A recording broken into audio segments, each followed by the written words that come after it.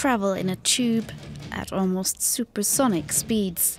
The Hyperloop would whisk cargo and passengers from one destination to another in pods within depressurized tubes at speeds of around 1200 kilometers an hour, transforming the 600 kilometer journey from LA to San Francisco into a half hour commute. It's not about getting somewhere, it's about being somewhere.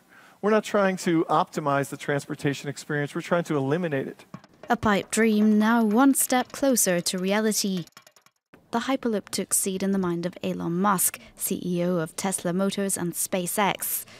In 2013, he published his vision of the futuristic system in a paper, calling on innovators to build it.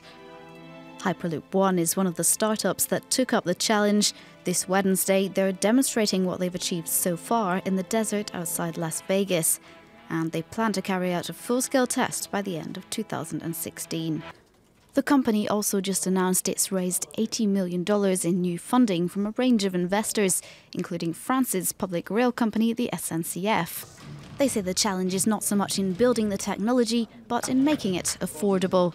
We could build Hyperloop today, but it would be very expensive. We want to deliver all the value that Hyperloop can deliver the safe, the efficient, the on demand, uh, the fast, but we want to deliver it at a cost basis that is absolutely transformative. But Hyperloop One has competition. Last month, rival crowdsourced company Hyperloop Transportation Technologies signed an agreement with the Slovakian government, agreeing to build a Hyperloop connecting Slovenia with Austria and Hungary.